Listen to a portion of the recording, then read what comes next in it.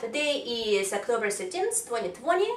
We're gonna play uh, Lullaby, Hushaby Don't You Cry as ensemble. We're gonna use vibraphone and strings on the piano and we're gonna do it with uh, four hands.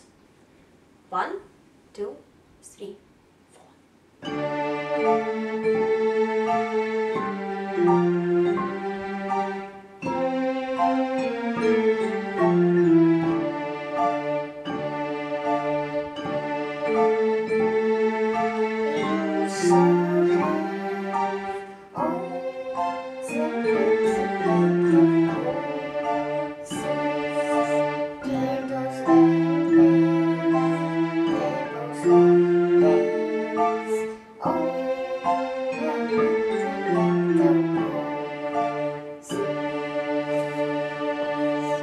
Bravo!